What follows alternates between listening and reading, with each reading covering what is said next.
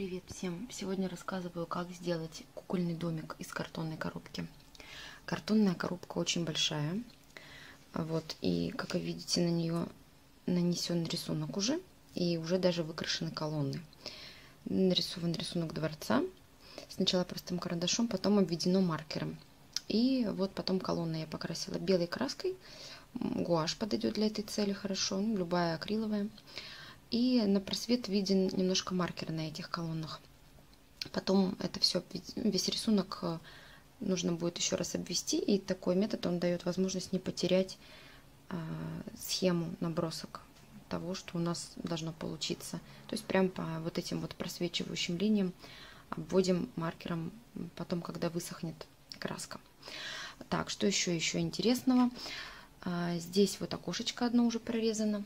Вот там картонка дальше. Вот, оно как раз и будет выполнять роль кукольного театра. Вот, прорезываем обычными ножницами или маленьким э, ножичком специальным канцелярским. Дом-замок раскрашен. Все красиво. Все хорошо получилось. А, дверки, окошки открываются. А, тут у нас имитируется свет. Два маленьких прорезаны. Средняя прорезана.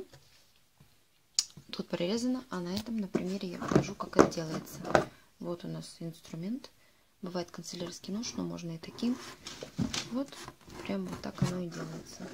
Если вдруг не очень аккуратно вышло, вот так вот это все делается. Вот. Ну и колонны у нас должны что-то подпирать, и это будет крыша. Ее осталось нарисовать. Раскрашиваем стропильную систему нашей крыши. Теперь просто вот так и отгибаем.